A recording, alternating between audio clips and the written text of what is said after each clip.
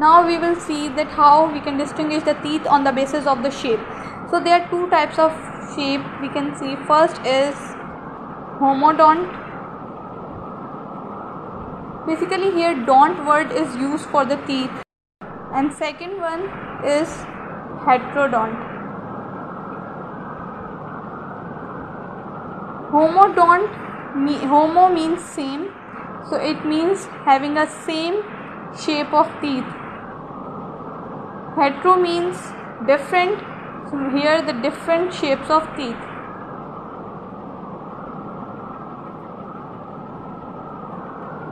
Homodont basically there are some organisms like there are some few amphibians and fishes that have a same shape of teeth means all the teeth are of same shape but there are some organisms here. We humans are the example that we are having heterodont shape means we are having different shapes of teeth. We are having basically we are having four different types of teeth mean four different shapes of the teeth. First is incisor. Second one is canine. Third one is premolar. And the last the fourth one is molar they all perform a different functions and they all have a different shapes as well.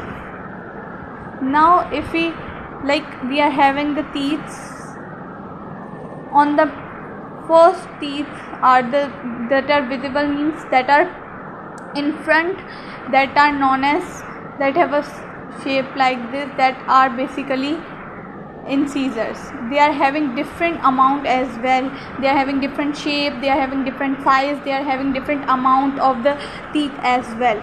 And after the incisor we are having canine that are the sharp teeth. These are known as the sharp teeth. We are having these are the sharp teeth that are canine. Then we are having premolars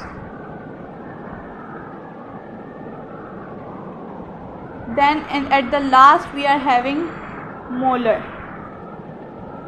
teeth. So basically the four there are four different shapes of the teeth and they all are having different function. The function of incisor caesar we, we are having like it's most common like caesar means for cutting. So these teeth are used for the cutting. Canine they are sharp teeth so they are used for the tearing here I'm writing incisor are used for the cutting.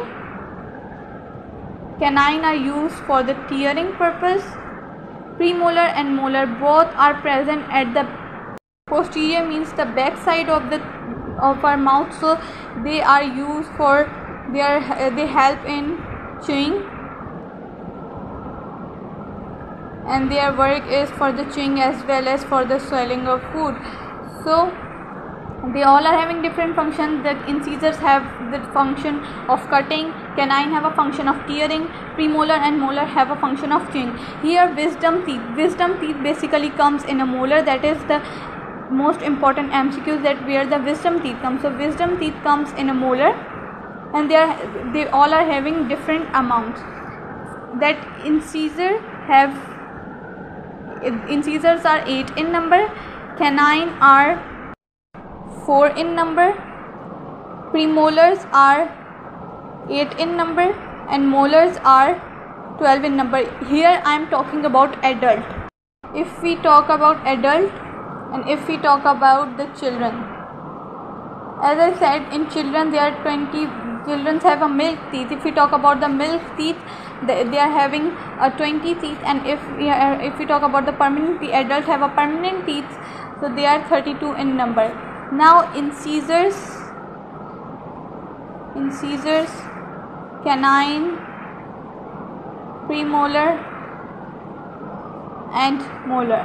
We will see and combine them as well that are they making 32 incisors are basically 8 in numbers canine are 4 in number premolars are 8 in number molar are 12 in number. Here 4 out of 12 therefore are wisdom teeth. If we talk about adult i'm again saying that adult not a children or milk teeth. We are talking about adult. Now if we talk if we combine them 12 plus 8 20 20 plus 8 28 28 plus 4 they all combine together 32 so in adult there are 32 number of teeth 4 8 are incisors 4 are canine 8 are premolars and 12 are molars. Out of 12 4 are wisdom teeth.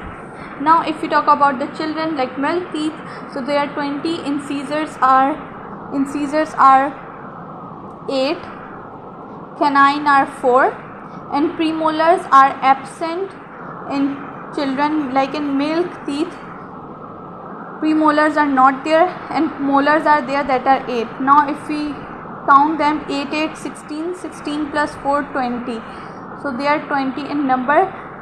How many remaining? 12 are remaining. Out of 8 are premolars that are absent and 4 are wisdom teeth.